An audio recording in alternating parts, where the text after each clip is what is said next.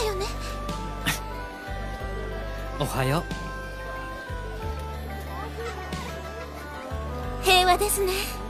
昨日までの戦いが嘘みたい。ううん。こんなにのんびりできるの久しぶりだよ。こうして見るとオレルアンって大きな国なんですね。この町だけでタリスの人口と同じくらいはいそうですものスが偏境すぎるのかもしれませんけど。アリティアだって似たようなものだよ。そうかな。それにしても街の人たちの表情がみんな明るいな。当たり前ですよ。マルス様がアリティアの王子がこの国からドルーアを叩き出してくださったんですから。だけど私は何もしていないよ。実際にこの国を取り戻したのはテンプルナイツのみんなやオグマやナバールやマリクそれにオレルアンの騎士だ。そして何よりこの国の人たちの強い意志なのだからね。そんなことありません。マルス様が。いけない。シーダすみません。つい。ありがとうシーダでも本当のところは誰のおかげであろうと構わないんだこの大陸の人たちが一人でも多く幸せになってくれればいい。今のこの人たちのように明るく生きていけるようになってくれればそれでいいんだ。マルス様。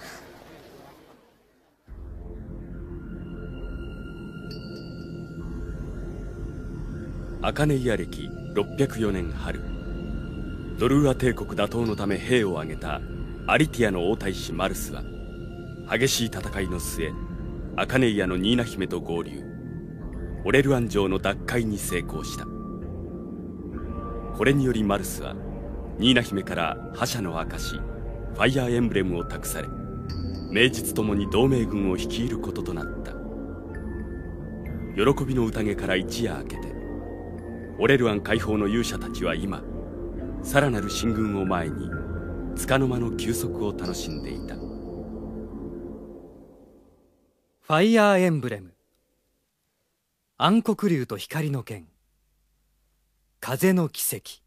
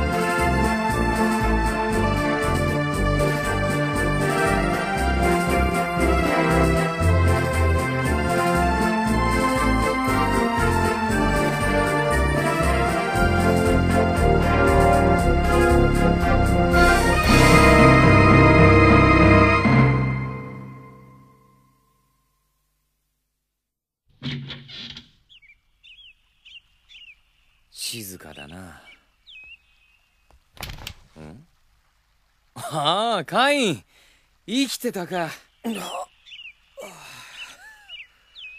おはようアベル。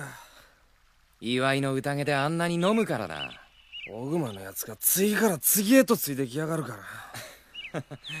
オレルアンの酒は抜群のパンチ力で有名なんだぜ。み水み水かあこいってやれやれ。しかし昨日は大騒ぎだったな。ドルーは侵攻後初めての勝利だからな。この意義は大きいさ。ああ。誰もが絶望を感じ始めた時だけに。これでこの大陸はがぜ生き返る。でもまだこれからってやつか？ああ。ところでお前遊びに行かないのか？今日は休息を取っていいんだろ？俺はいいさ。ここでのんびり留守番でもしてるよ。俺も本当はこの城の見回りを頼まれてるんだが。寝てろよ。俺が代わりにやってやるぜ。すまない。気にするな。ちゃんと貸しにしとく。高いもんにつくぜ。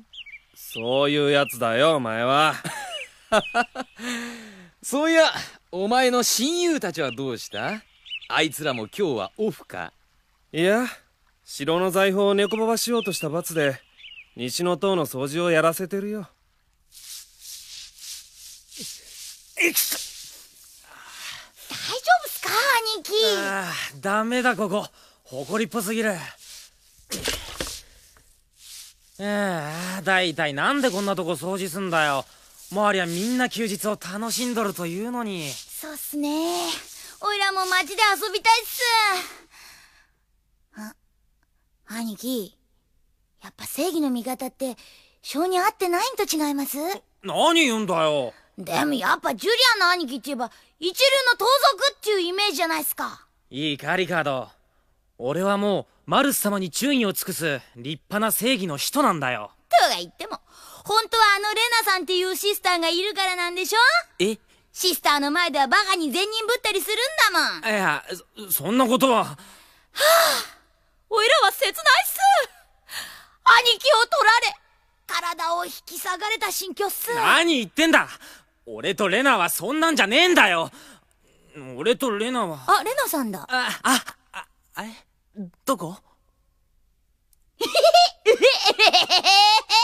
っす。言ってみただけっす。兄貴ったら赤くなってるっす。かわいい。なんだと？リカードこの野郎お前人をちょっくりやがってやめて四六だこれ怒りがひどくなるっすよ。やめて兄貴。城の見回りって言ってもな。今さらドルーア兵が潜んでいるとも思えないがん？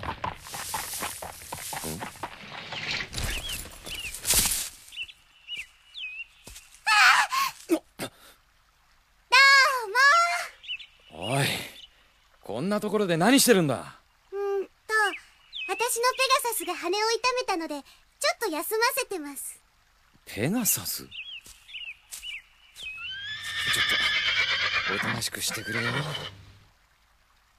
ああ軽くひねっているようだな。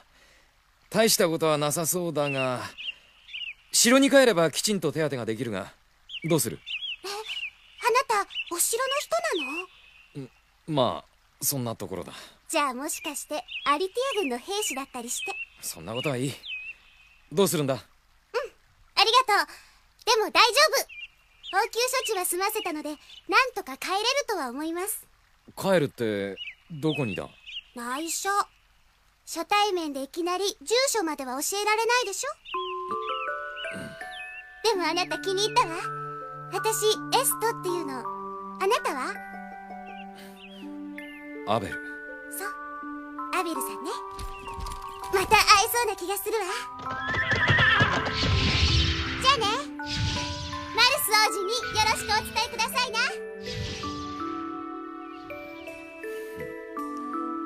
マケドニア軍か。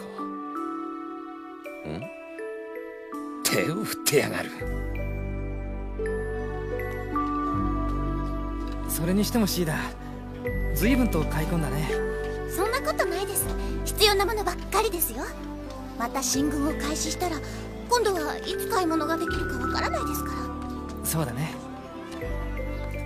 おや？ペガサスだえ？ほら。どこのだろう。空を飛ぶのって気持ちよさそうだね。いつかいつか私のペガサスに乗せて差し上げます。マルス様をお乗せしてずーっとずーっと。笑わないでくださいそうだ。はいこれ。私にですか？うん。タリスにいた時髪飾りもらったよね。そのお返しをしなきゃってずっと思っていたんだけどこんなものでいいのかどうか自信がないんだけど。素敵。ありがとうございます。よかった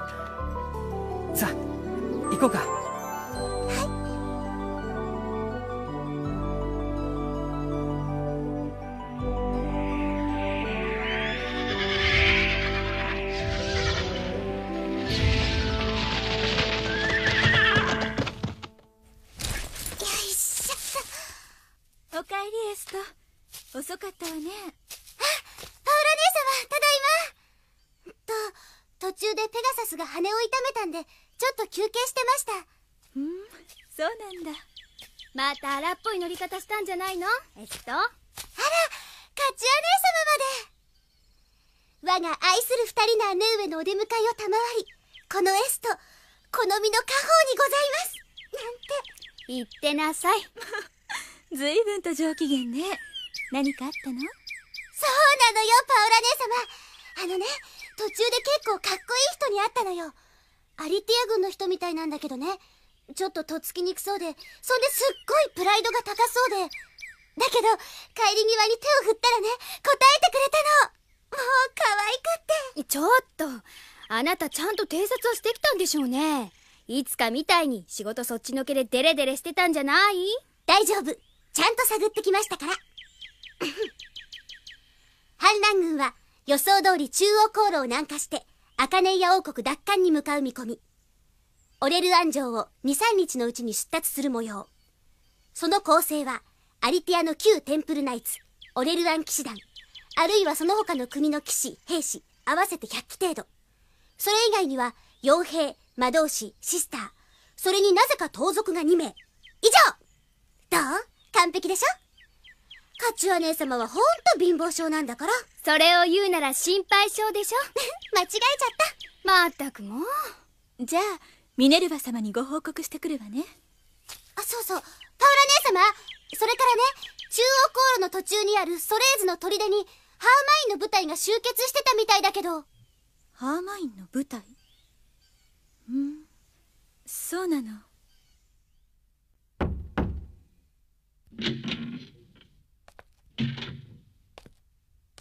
ミネルヴァ様エストが戻りました。やはり反乱軍は一路アカネイア王国に向けて中央航路を南下するようです。そうか。分かった。エストにはよく休むように伝えなさい。はい。いよいよ来るかアリティアのマルス王子。それからあのん？ソレーズの砦にハーマインの部隊が集結していると。何？アカネイア大陸を縦断する大動脈中央航路。そこはオレルアンからアカネイアへと通じる唯一の道である。今その最大の難所であるレフカンディの谷にハーマイン将軍率いるマケドニア軍が赤い竜騎士ミネルヴァの指揮するマケドニア白騎士団と共にマルス一行を待ち構えていたのである。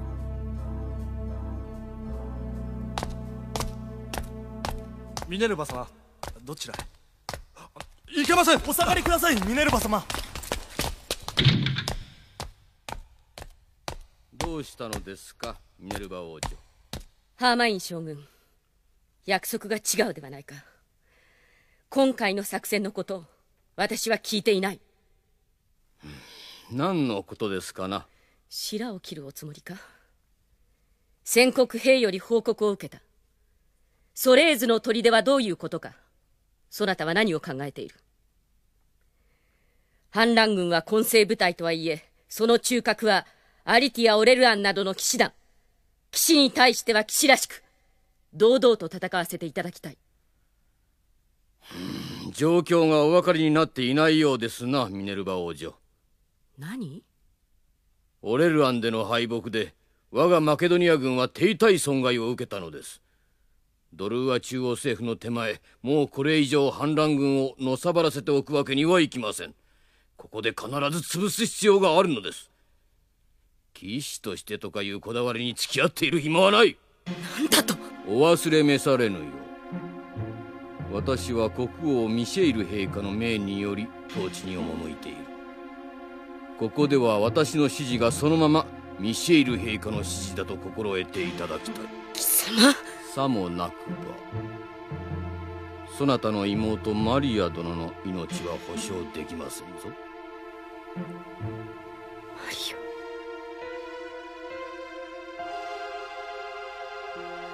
兄上。どうしてマリアを引き渡すのか。兄上。まあ聞けミネルヴァ俺はドルーアと組むことにした。何をバカ。ドルーアと組みアカネイアを滅ぼす。我がマケドニアを長く虐げてきたあの偽りの西王国をな。しかしだからといってどうしてマリアを引き渡す必要がある。マリアはまだほんの子供なのだ。条約によってマリアはドルーアの監視下に置くことになる。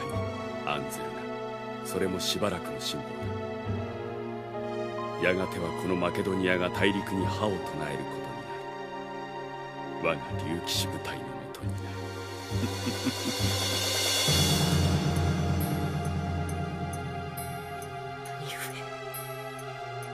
お分かりいただけたか？ならば下がって出陣の準備でもなさるのですな。華々しい戦果を期待していますぞ。そなたに助言を受ける覚えはない。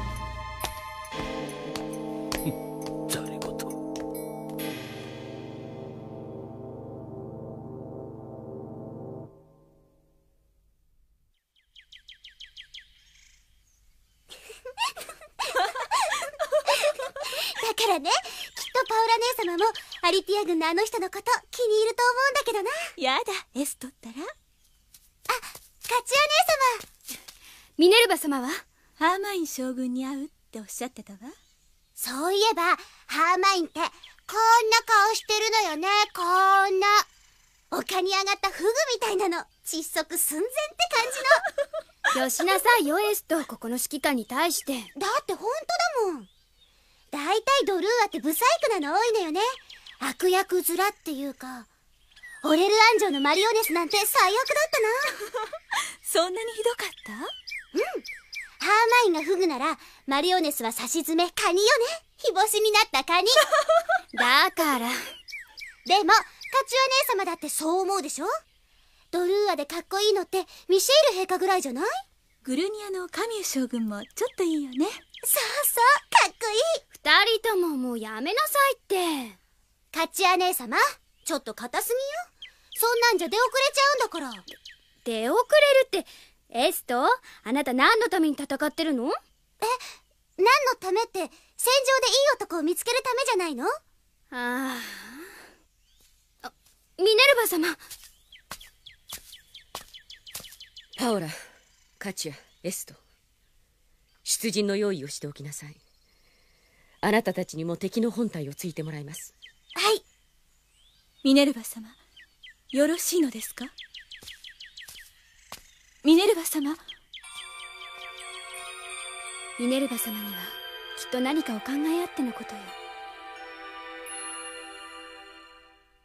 一方オレルアンを後にしたマルス一行はアカネイア王国に向けて中央航路を南下し間もなくレフカンディに差し掛かろうとしていた。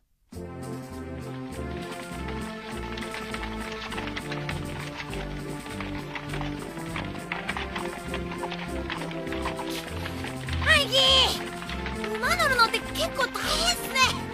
これなんかゴツゴツするし。えっ？バカだなリカード。いいだろ？馬ってのはなこうやるんだよ。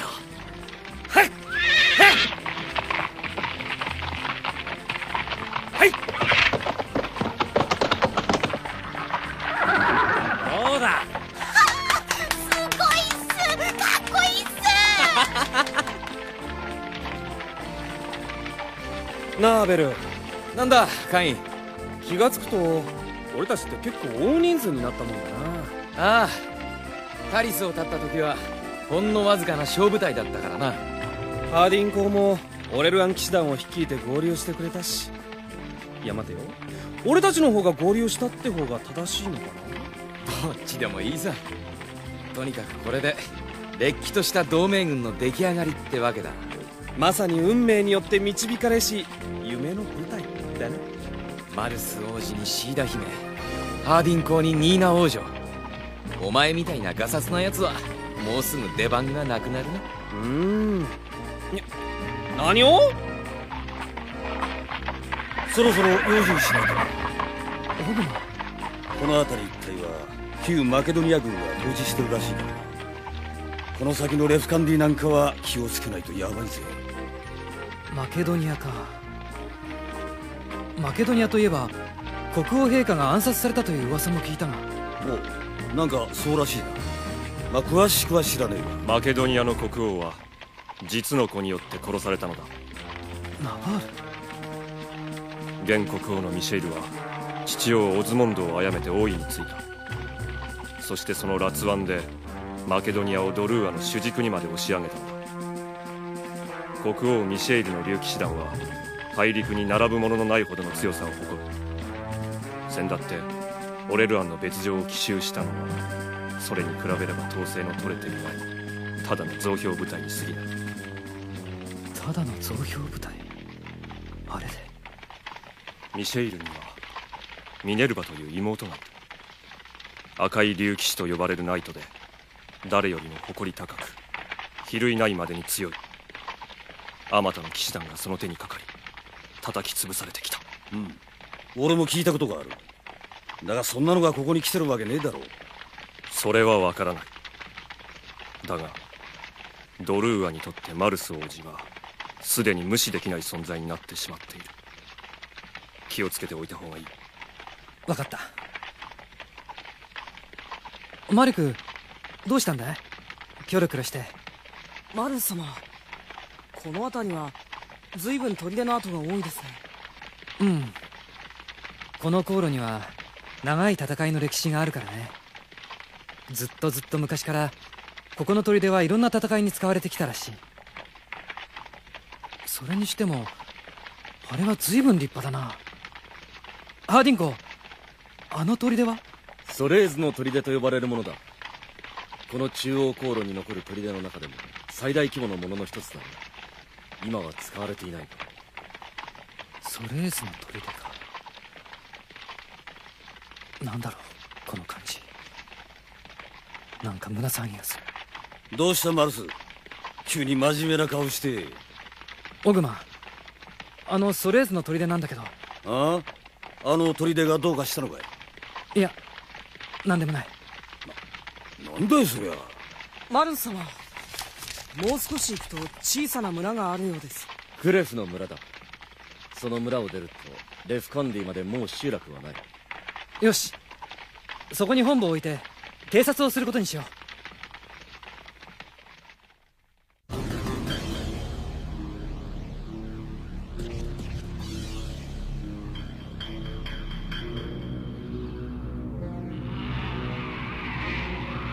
ガーネフ様ミシェール陛下の飛竜です。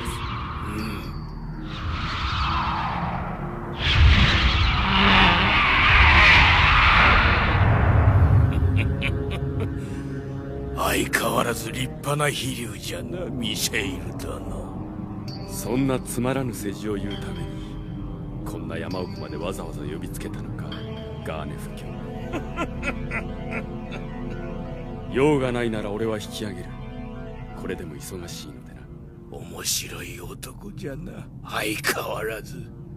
話というのはマルスとかいうアリティアのガキのことなんだろう。オレルアンジョを奪われたのはちと計算外じゃったのでな。確かに我が軍にもいささかの油断があったのかもしれん。だがレフカンディにはミネルヴァをやってあるミネルヴァをな。あいつの力をもってすればわけもないだろう。もっともあいつにやる気さえあればだがな。そうか。わしの方も一つ面白い仕掛けをしておいた。マルスとかいう構造こちらの予想通りクレフの村に入ったようだが。さてどう出るかの。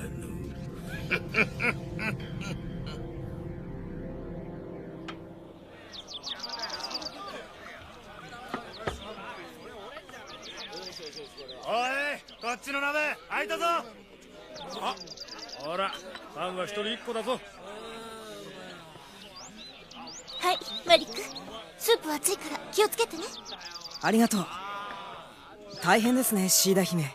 うんそれよりあの男の子さっきからずっと柱の陰に立ってこっちを見てるのよ。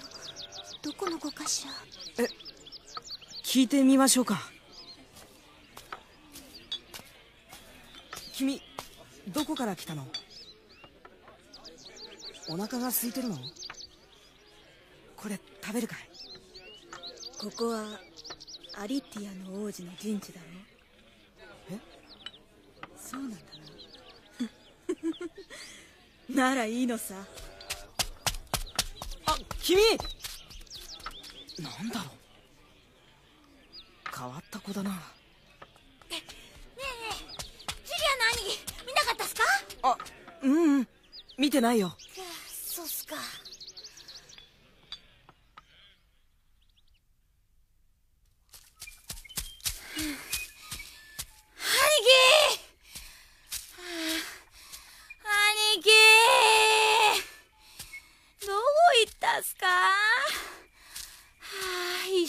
べたかったっすひどいっす。おいら一人で食べろっちゅうの。は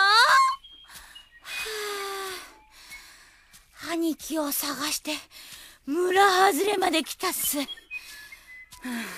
仕方ないっす。ここで一人でえええーっとは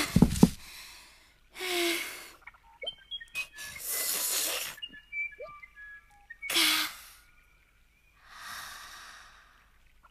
か悲しすぎるっす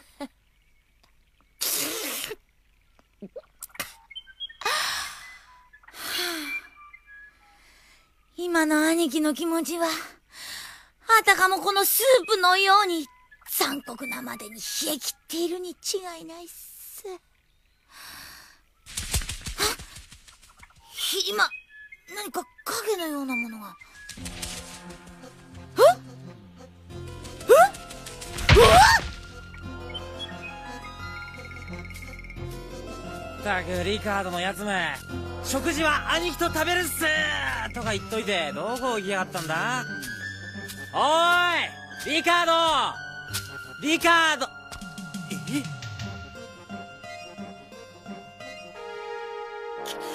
小さいどいてくれっすよ。重いっすよ。兄貴リリカードお前なんで背中に真っ黒いの乗せて腹ばってんだ乗せてるんじゃないっす。ここいつがおいらのパンを。兄貴苦しいっす人間か。何してんだてめえ。く。そこいつ。兄貴これをよっしゃ。食らえ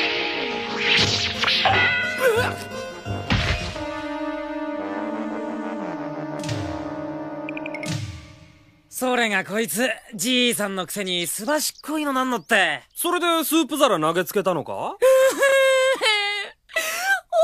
パンみんな食べられちゃったっす。大丈夫よ。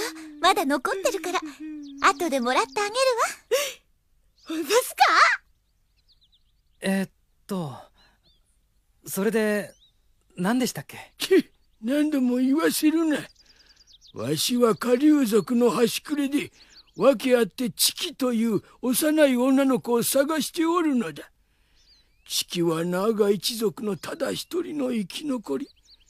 あの子がおらねばメディウスの配下のマムクートたちを倒せる者がおらぬじゃではあなたはマムクートだと言われるのですか？いかにも。じゃあ一つここで竜になって見せてくれよ。マムクートって自由に竜に変身できる種族のことなんだろうん。あいや。そうしたいのじゃがあいにく大切な下流石をなくしてしまい今は変わることもできん。無念わかりました。とにかく何日分かの食料をお渡しします。それでどこかの町まで繋いでください。ジュリアン食べ物を渡して話してやってくれ。えさあみんな持ち場に戻ろう。おいちょっとそこの魔導士え？今の大将何者じゃ。なかなか面白い層をしておる。強い運命のもとに生まれたもののそうじゃ。見るのは百年ぶりくらいかの何者なんじゃ？アリティアの王太子マルス様です。アリティア？アリティア？そうか！アンリの子孫なのか！そうです。さあ僕ももう行かないと。なんだか不思議な老人だったわね。そんなにすばしこそうには見えなかったけどな。本当に竜に変身できるのでしょうか？言い伝えではそう言うけどね。マムクートはかつてこの大陸を治めていた種族なんですよね。うん。人間の姿に竜の本性を隠し持っていたと言われているんだ。あれマルス様。ああそこだ。すっかり遅れてしまった。早く追いつかなきゃ。ん？マルス様の後を追いかけていくのはさっきの男の子だ。何してるんだろう。あれ？目の錯覚かな。変なシルエットがダブって見える。本当に竜に変身できるなら見てみたいもんだな。できっこないって。そうだな。あのじいさんもお前と同じく口だけってやつで。何を？おっと。危ないな坊や。あらあなたはさっきのお前がアリティアのマルス王子だな。君は？いや錯覚じゃない。あれは魔導士のシルエットだ。マル様危ないそいつは！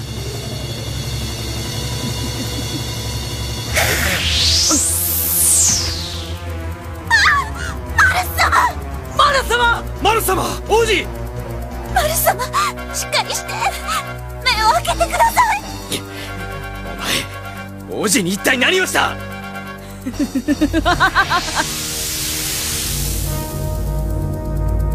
えしょ少年が消えた。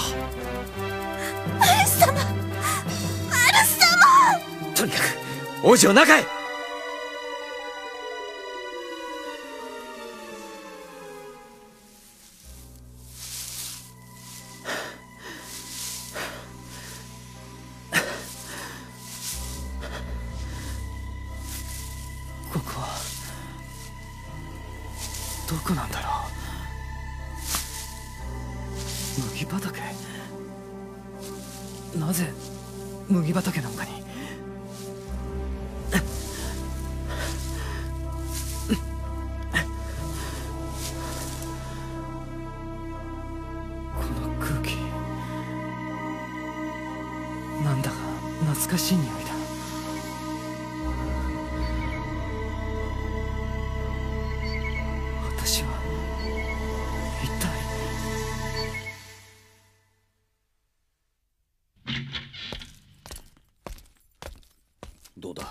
スの様子は？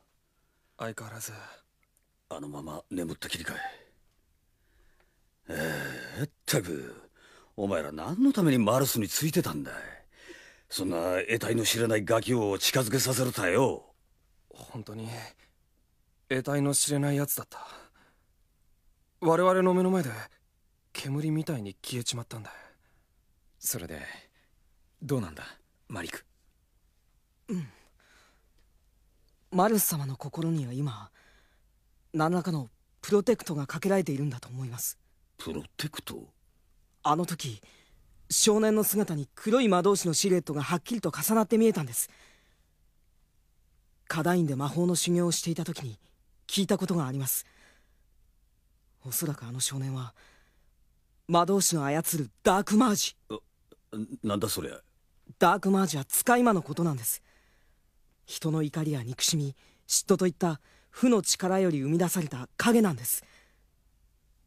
でもそんなものを操れる魔導士はたった一人しかいないはず。そいつは何者なんだ？最高司祭ガーネフ。ガーネフの魔導の力は闇より生まれた暗黒魔法。その力をもってすればダークマージを操ることもできるでしょう。そんなそれじゃ。様は大丈夫。今はただ眠っていらっしゃるだけです。でもプロテクトされた心の中でマルス様はガーネフの作り出した幻覚を見せられているはず。それが何をもたらすか誰にも分かりません。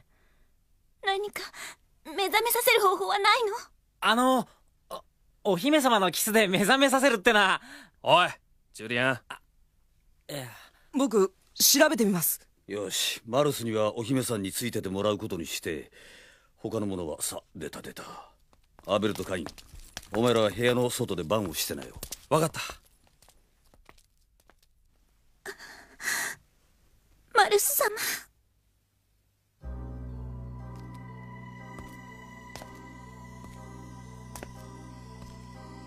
この町は見覚えがある。あの屋根あの石段そうだ。あれは昔よく姉上と散歩した広場だ。間違いない。ここはアリティアの首都アンリだ。だがなぜ？あ。君はさっきの子じゃないか。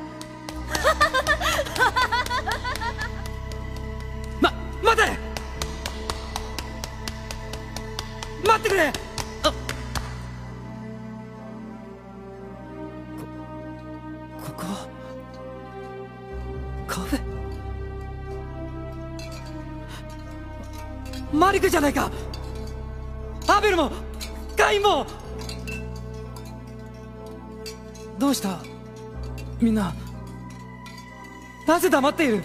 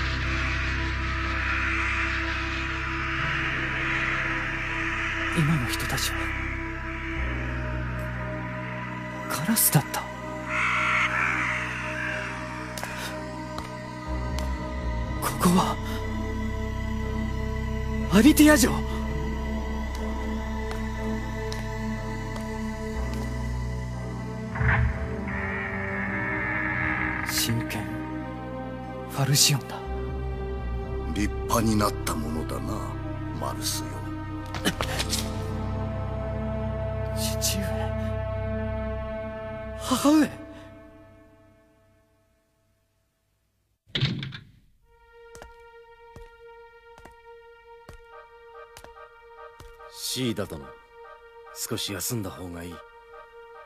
ハーディン殿下。ありがとうございます。でもマルス様がマルス様が目を覚まされるまで私シーダ殿。マリクは？術を解くため別室で魔導書と首っ引きだ。これじゃないここれでもない。これ。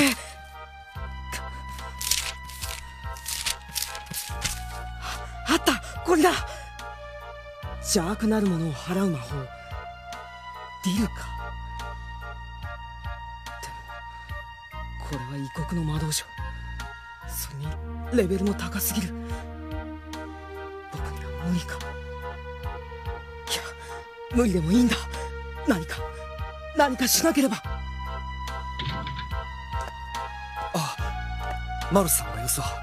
相変わらず眠り続けている。ハーディン隊長敵襲です。レフカンディのあたりから飛行部隊地上部隊多数接近中です。何？やっぱりマルスの剣と陽動で仕掛けてきやがったな。直ちに出撃しよう。マルス殿が眠っているこの村に敵を入れるわけにはいかない。そういうことだしかし応戦一方では拉致が開かないジェイガン殿には敵の本拠地をついてもらおう。向こうも多数出撃したとなると手薄になってるだろうからな。守りは我々で。よしじゃあそっちは頼んだ。貴公は。いやちょいと気になることがあるんでな。そいつを片付けてから追いかける。うん。そうか。じゃあ俺とアベルはハーディンコーと出りゃいいのか？バカお前らまで出てったらニーナ姫は眠り続けてるマルスを誰が守るんだよ。おとなしく留守番してるんだ。しかしマルスならきっとそういう指示を出すぜ。違うかい？本当にマルスがそう言うかどうかは分かんねえけどよ。じゃあここは頼んだぜ。これは年寄りを何だと心得る？なんだマムクートのじいさん。まだいたのかい。おいジュリアンリカー。ドこのじいさんさっさと安全なところまで送ってってやれ。頼んだぞ。いやその頼まれてもさ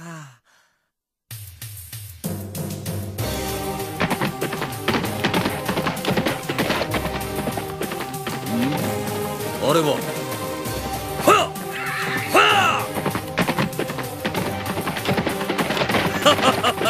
そういうことかいナバール。大熊か。やはりソレーズの砦か。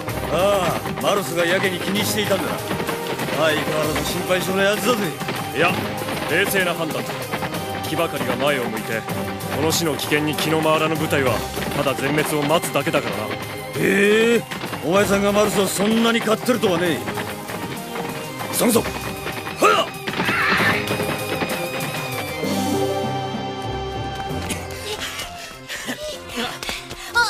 おいじいさんち真面目に走りなよ。早く逃げないとヤバいっすよ。そうか。さっきの若者がアリティアのアンリの子孫なのか。そうか。下流石さえあればお役に立てたものを。なんだそのなんとか石ってな我らが竜の本性を封じし聖なる石じゃ。わしのは下流すなわち赤い石なのじゃ。赤い石？そういやオレル安城の宝物庫でくすねた中にキラキラ光る赤い石があったけど。バカ者。ただ赤いだけじゃないのだ。下流石は唯一絶対の。ほらこれ兄貴。おお俺の宝石よりでかいなおおおよこせああ返すっすこれはまさしく下流石そんないい加減なうん返す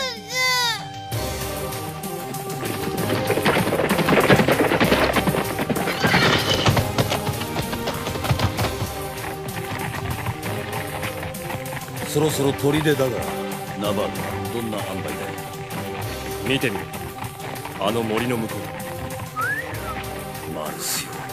大正解だった。なやはり増援部隊がいたな。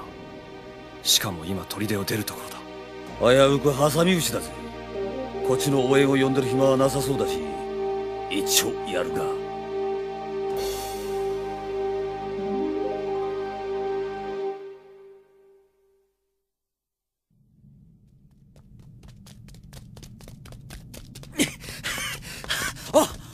いじいさん。そっちは方向が違うんだってばさ。なんだ。あの石見たら急に走り出しやがって。兄貴。俺もう走れないっす。横っ腹痛いっす。そうだよな。くそ。じいさん止まれよ。そっちは危ないんだ。あんたに何かあったらまたオグマにどっつかれちまうんだよ。止まれ。おーい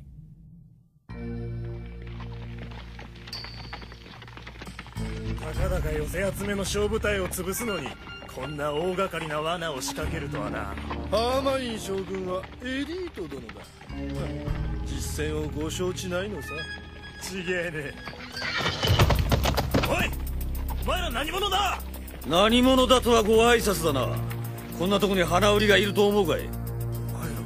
反乱軍か。うーんどうだろう。とんと自覚はないからなまあお前たちをここから先に通すと具合の悪い人間ではあるが。こいつ。は甘い。うわやめときな。このお兄さんは俺と違って容赦はないんだ。おとなしく引き上げれば何もしないぜ。この。でも無理だよな。やっぱり。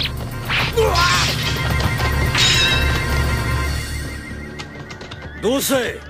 どんどん来やがれ！こいつはいくらなんでも二人じゃ少なすぎたかなナバール。そんなことはない。俺一人でも大丈夫だ。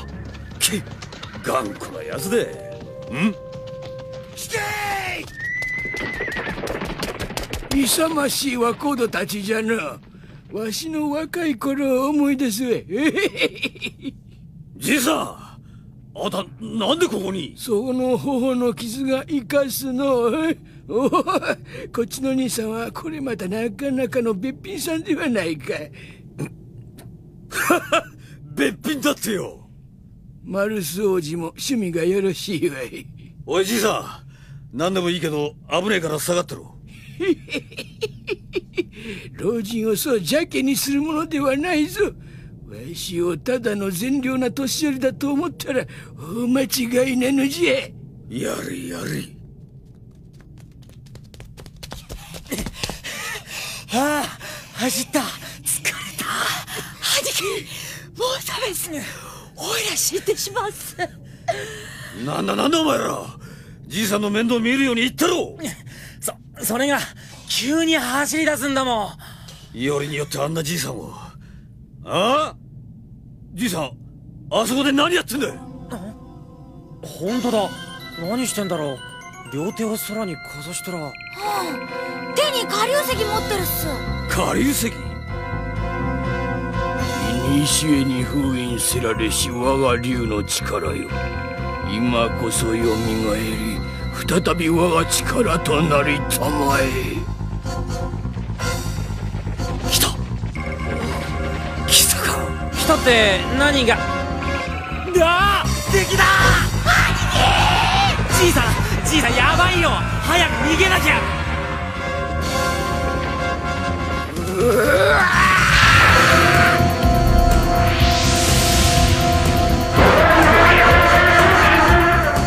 信じられねえ。本当に竜に変身しやがった。あ兄貴怪獣っす。怪獣が出たっす。おお兄貴兄貴兄あもう行っちゃってるっすね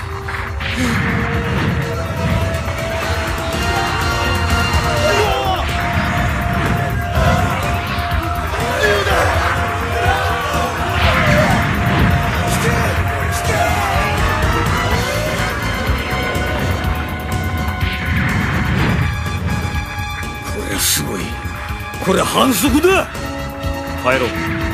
王子たちが心配だ。ああだな。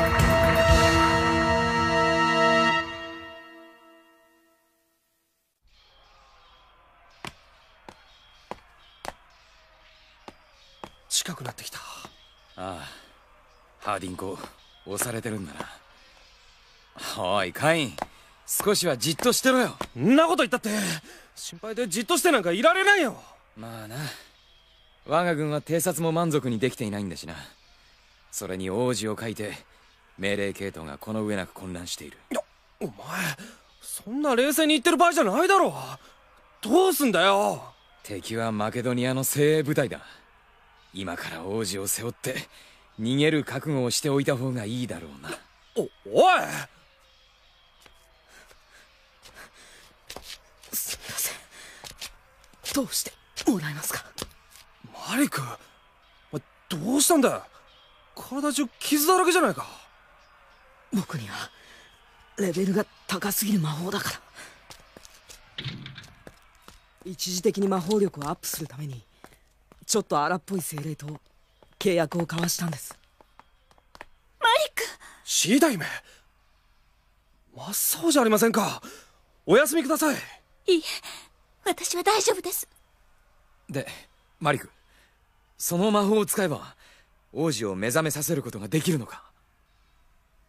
チャンスは一度きり失敗は許されない。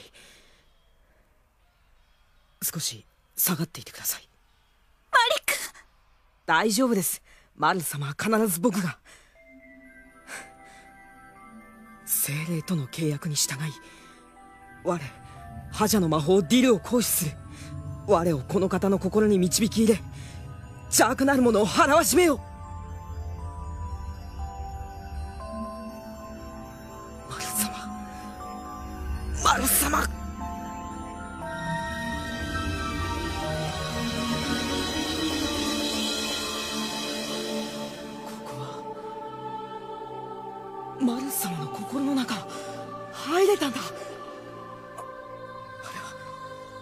マル様。マル様。ダメだ。マル様には聞こえていない。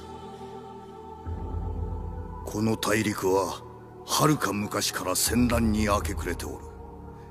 そろそろその歴史に終止符を打つべきなのだ。マルスお前はこの大陸の人々のため良かれと思って戦っているのだろう。だがそれは間違いなのだ。お前が思っているほど人々は心の底から平和を望んだりはしていない。人の心にある悪しき思いは決してなくなりはしない。父上。誰かが力のある者がその悪しき思いを抑えさせぬ限り戦乱の歴史に終わりはない。マルス私たちは今までメディウス皇帝を誤解していたのよ。あのお方の本当の願いは大陸統一。人々のいつ果てるかわからない愚行を止めることにあるの。マルスお前は自分のしていることが分かっていないのだ。知らず知らずこの大陸に災いを呼び起こそうとしていることが。恐ろしいことよマルス。お願い。早く目を覚まして。私が大陸に災いをさあお前の手にあるファルシオンを私に。そうすれば全てがうまくいくのだ。ファルシオン？どうしたマルス？早く渡すのだ。このファルシオンを渡す。え？マリク？今かすかにマリクの声が聞こえたような。マルス？マルス様！さあお前もメディウス皇帝に忠誠を誓うのだ。違う！お前は父上ではない！何を言うのです？あなたは平和な世界を実現したくはないのですか？さあ早くファルシオンを。このファルシオン欲しければ我が手よりもぎ取ってみよさあ！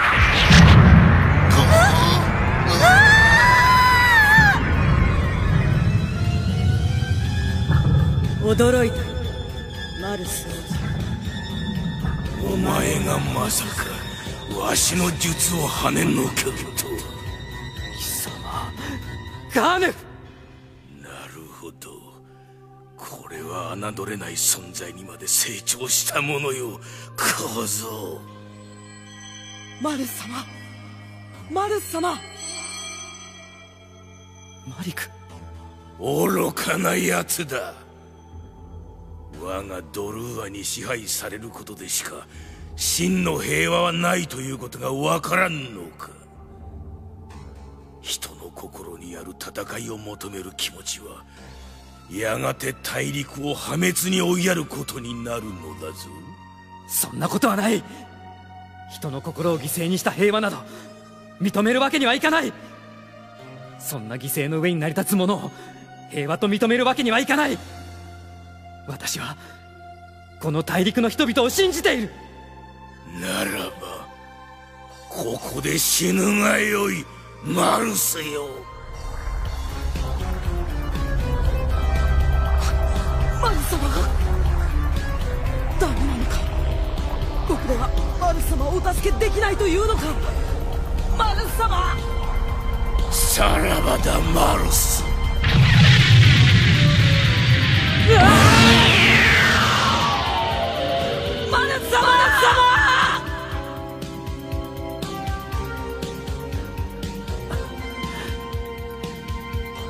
許さない。父上や母上を怪我したこと。人の心を。大切な思い出を踏みにじったこと。私は決して許さない。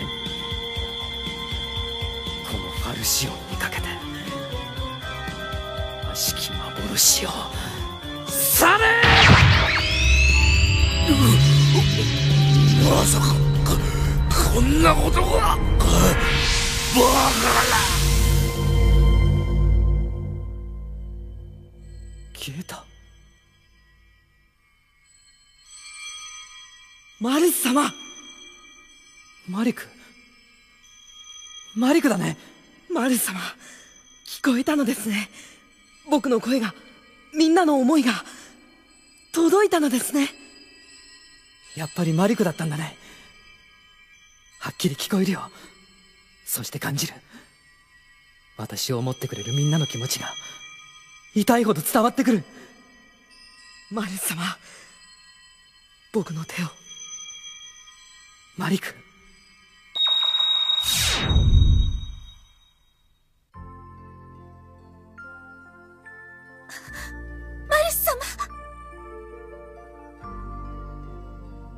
シーダマルス様気がつかれたのですね。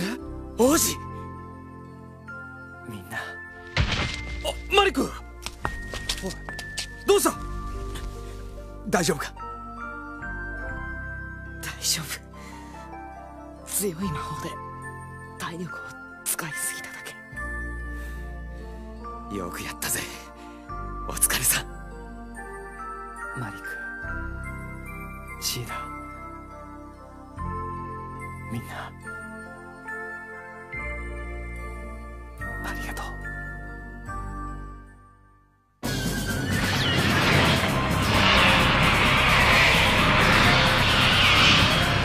アーチャーとホースメン飛行部隊に専念しろ。敵の主力はドラゴンナイトだ。ペガサス部隊に気を取られるな。とわさ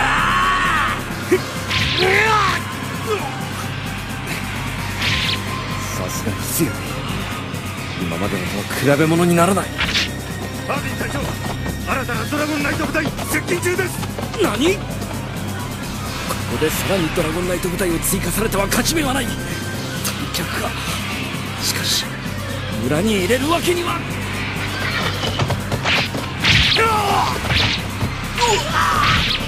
奥間殿間に合ってよかったぜニアの精鋭動きに無駄がない。おいジュリア！あの竜のじいさんどうした？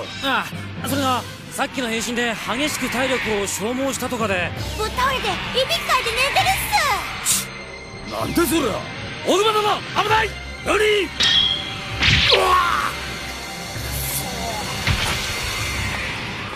どうだい？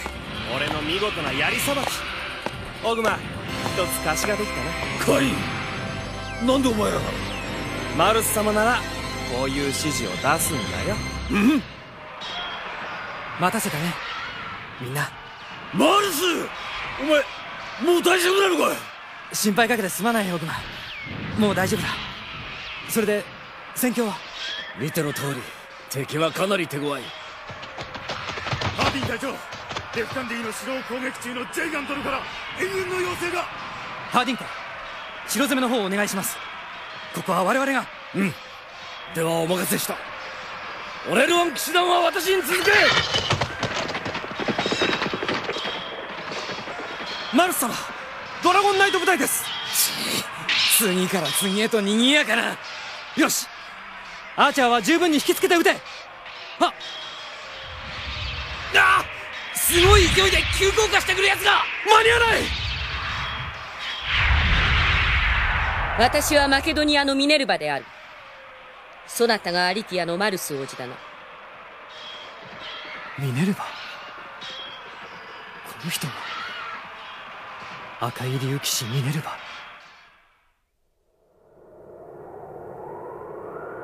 やってるやってる。あすごい。反乱軍って結構統制が取れてるのね。戦い方にムラがないもの。こらエスト感心してるんじゃないの？それでカチュはミネルヴァ様は？それがなかなか見つからないの。きっと敵の本陣に行ってるんだと思うんだけど。ミネルヴァ様大丈夫かしらね？随分深刻なお顔をなさっていたけど。うん。でも大丈夫なはずないわ。ミネルヴァ様は正々堂々と反乱軍と当たりたかったはず。そうよね。敵の後方に増援部隊を置いて挟み撃ちなんてミネルヴァ様の戦い方じゃないものね。でもマリア様のことがあるわ。いた！ミネルヴァ様だ！え？本当。誰かと向き合っている。あれは？まさかアリティアのマルス王子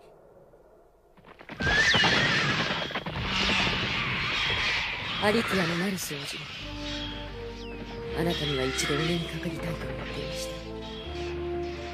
た。オレルアンの戦いで我が軍の捕虜を恥ずかしめることなく騎士として扱ってくれたことに感謝を述べるために。ミネルヴァ王女あなたに尋ねたい。マケドニアはどうしてドルーガに組みしアカネイアに反旗を翻したのか。100年前マケドニア建国の英雄アイオテは飛竜にまたがりメディウスの支配より人々を守ったと聞く。その勇者アイオテの血を引くあなた方がなぜ今メディウスと結託など。ミネルヴァ様王子マルス様いや。ミネルヴァ様。大丈夫。下がっていなさい。ハベルさんだメディウスの復活で各国は速やかな決断を迫られた。すなわちドルーアに抵抗するかそれとも隷属するかだ。そしてそれはまた各国の思惑封じ込めたはずの野心をも解き放ってしまった今この大陸を覆わんとしているのはドルーアの影のみならずそれに触発された人々の悪しき力でもある。王子あなたは嫌おうなくその渦に巻き込まれることになる。そしてそれはひどく孤独な戦いとなることだろう。ミネルヴァ王女。今ここであなたと戦うつもりはない。私にはやらねばならないことが残っているあえて光栄に思う。マルス王子。ミネルヴァ王女！アベルさんお久しぶり。お前ミネルヴァ王女の部隊に所属しているのか？まあね。王女はどうして戦わないんだ？ミネルヴァ様はねハーマインのこと騎士として許せないのよ。もっと正々堂々と戦いたいのよね。エスト何してるの？行くわよ。はい。じゃあねアベルさん。また会いましょう。アベル。お前いつの間に 似ていた。似ていたな。あの人の目。どことなく姉上に。マルス様。どうされました？いやマリク大丈夫なのか？もう平気です。マリス様。行こう。いつまでもオグマとナバールに任せっきりじゃ悪いからね。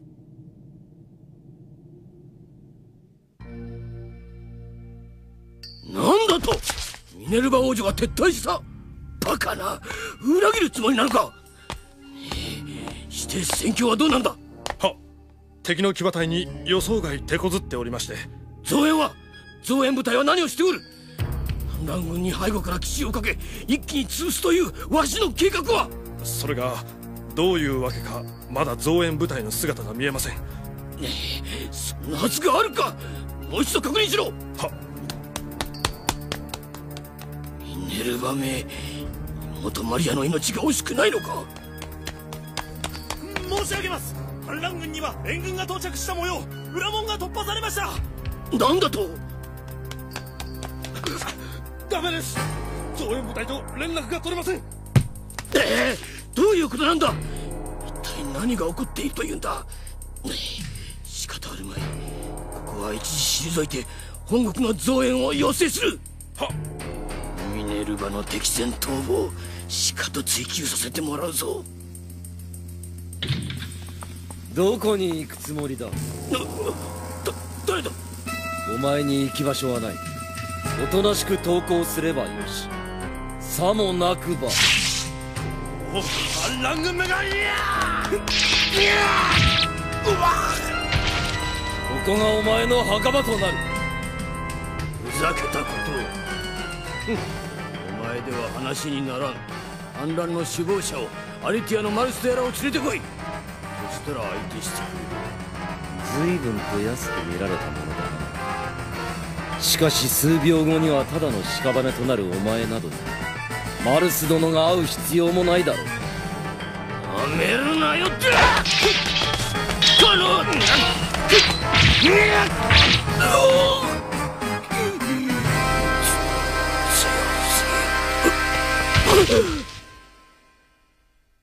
マルス殿に報告だ。敵の本拠は制圧したと。はマルス様敵の本拠は制圧したとのことです。地上部隊飛行部隊とも撤退していきます。分かった。追っ手の必要はない。負傷者の手当てを急いでくれ。マルス王子改めて自己紹介する。わしはバヌトゥ下流族の端くれじゃ。わしも王子の力になりたく思う。結局このじいさんソレーズの砦を一人で片付けちまったもんな。よろしく頼むぞ。大歓迎です。ええそっちの髪の長い色っぽい兄ちゃんもよろしくな。ナバールさんが動揺してる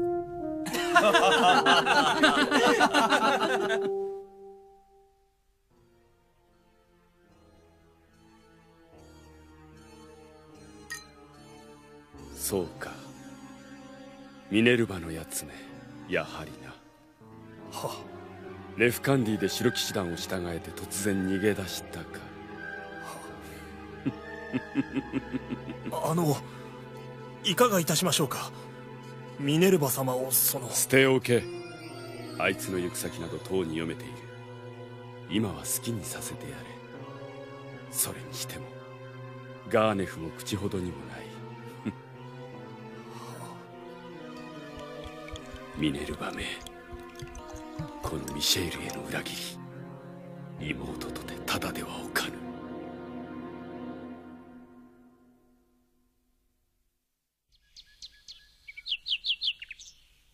さあ出発だ。よ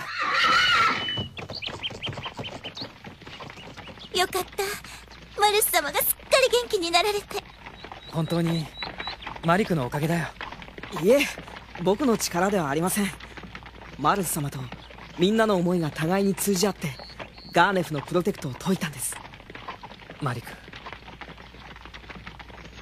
私はもしかするとあのまま永遠に深い闇に飲み込まれてしまっていたかもしれない。ありがとう。マルス様。みんなが私の友であってくれるからこそ私は戦うことができるんだと思うこれからも力になってくれるね。はい。はい。あら？友達だけですか？えどういうこと？何でもありませんきましょう。早く。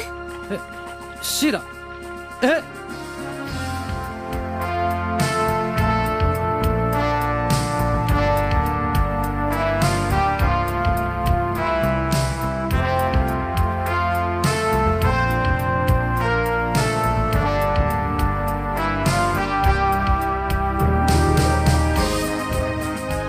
マルスたち同盟軍はレフカンディを突破。中央航路をアカネイアに向けてさらに南下した。一方度重なる敗戦の知らせに業を煮やしたメディウスは緊急の会議を行うべく属国の代表に招集をかけた。